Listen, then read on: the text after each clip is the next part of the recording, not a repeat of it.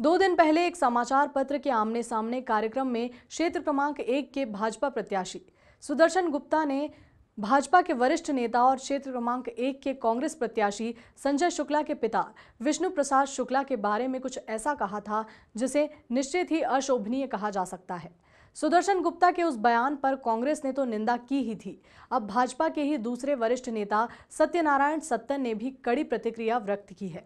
सत्यनारायण सत्तन का कहना है कि भाजपा प्रत्याशी के पास अगर अपने विरोधी उम्मीदवार के खिलाफ कहने के लिए कुछ नहीं है तो उन्हें ऐसे में वरिष्ठ लोगों और भाजपा के महापुरुषों के बारे में ऐसा कीचड़ नहीं उछालना चाहिए, ना ही इस तरह के आरोप प्रत्यारोप लगाने चाहिए। निश्चित ही भाजपा की राजनीति में इसे सत्तन गुरु का सिक्सर कहा जा सकता है। दोष दोषी ठहराता हूँ कि ऐसे आदमी की सिफारिश करके मैंने क्या लिया? इस पार्टी को जो लांछित कर रहा है, विष्णु प्रसाद शुक्ला के कैरियर को जानता नहीं है ये।